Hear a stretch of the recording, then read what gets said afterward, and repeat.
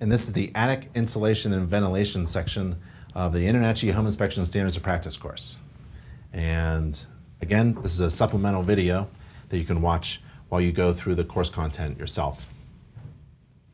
And before we get to the content, um, the house is a system of interdependent parts. You should inspect the house as a system where one part affects many other parts. And I found this to be true when inspecting the attic insulation and ventilation because you'll find that um, any inspection of the attic and insulation is inherently tied to other systems and components such as the roof framing, um, the chimney, the electrical system, um, energy efficiency. So um, when you go up into the attic, for example, um, the amount of insulation in the attic, observed in the attic, let's say um, on the attic floor, is tied to the heating and cooling system. Because if there's a lack of insulation, the heating system could not be, uh, maybe the occupants are complaining about the second floor being too cold in the wintertime because there's just a different climate zone on the second floor because of the lack of insulation.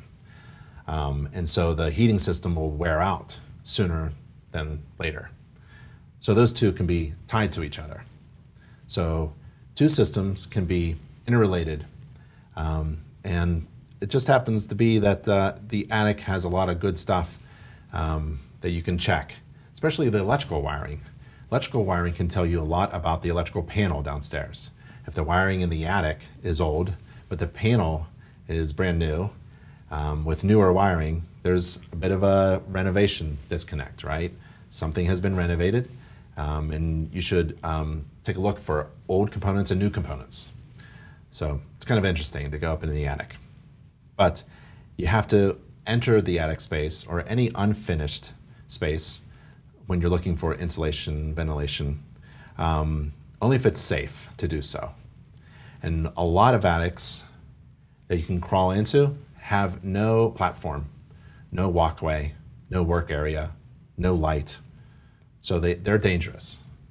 And you don't want to slip and fall through a ceiling. I have. It's not fun. So um, please take InterNACHI's Safe Practices for Home Inspectors course and stay safe when entering these areas. According to the standards of practice, the inspector shall inspect the insulation in unfinished spaces, including attics, crawl spaces, and foundation areas. Again, be safe and decide whether or not to enter those spaces. The inspector shall inspect ventilation of unfinished spaces, including attics, crawl spaces, and foundation areas. And you're required to inspect mechanical exhaust systems in the kitchen, bathrooms, and laundry area. You are required, as a home inspector, to describe in your inspection report the type of insulation observed, the approximate average depth of insulation observed at the unfinished attic floor area or roof structure, and the inspector shall report as a need of correction the general absence of insulation or ventilation in unfinished spaces. Attic spaces. The inspection of unfinished spaces includes attic spaces. An attic is defined here as an unconditioned space between the roof and the ceiling or walls of the house's inhabited rooms. In houses with pitched roofs, attics are usually partially or fully accessible. Um, in houses with low sloped roofs, you can barely get into them or not into them at all. This inspection image is of an attic access panel in the ceiling of a bedroom closet. The attic access panel was not insulated at all. The inspector recommended that the panel be insulated and weather stripping installed to help with preventing energy loss. Ventilation. Signs of inadequate ventilation could be rusting nails, uh, wet or rotted roof sheathing, or excessive heat buildup in attics. Adequate ventilation can be measured by calculating the ratio of the free area of all vents to the floor area, but a home inspection does not include this type of measurement or calculation. Frankly, I just look for, on a pitched roof, soffit and ridge vents. That's the best. If there's some other kind of mechanical vent, I'll try to turn it on. If it doesn't turn on, defect. It'll be in the report. Ideally, soffit and ridge is really the best for a pitched roof. The inspection image here is of fiberglass insulation on the attic floor area and other things. There was a lack of insulation installed with only several inches of thickness approximated by the home inspector. The inadequate insulation thickness was, was reported as a defect by the home inspector. The inspector also commented upon the observed defects at the insulated ducts. The ins insulation of the ducts were not installed properly at the connections, the ducts were damaged, and the duct was poorly supported, as you can see in that inspection image. A sprayed foam insulation was observed by this inspector at the band rim joist areas located above the basement foundation wall. There are types of insulation. Every homeowner should know the type and the amount of insulation materials installed in their house. And there are various, various types of insulation. The most common is fiberglass insulation. For cold climate zones, the insulation faced with a vapor barrier should be installed face side down with the vapor barrier closest to the conditioned space. Depth of insulation.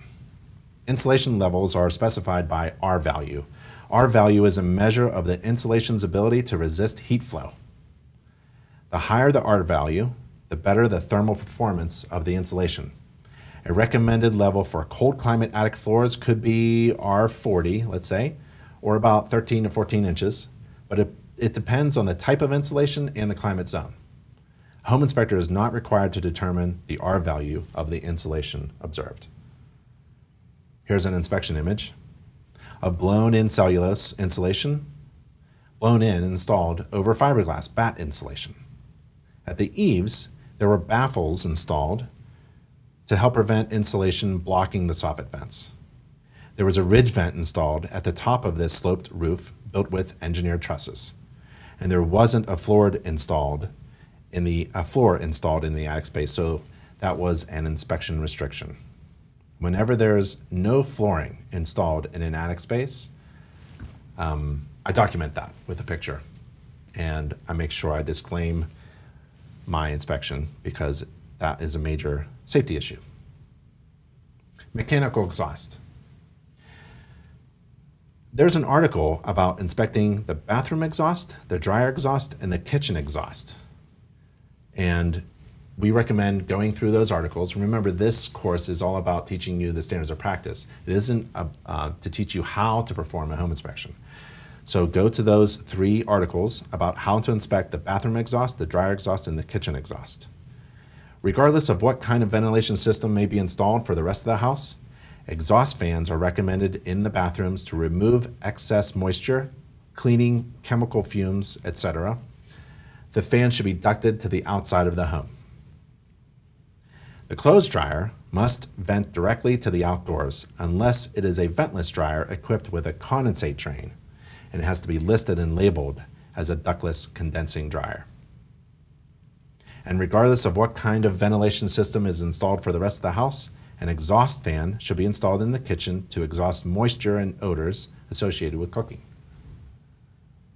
According to the standards of practice, the inspector is not required to enter the attic or any unfinished spaces that are not readily accessible or where entry could cause damage or, in the inspector's opinion, pose a safety hazard.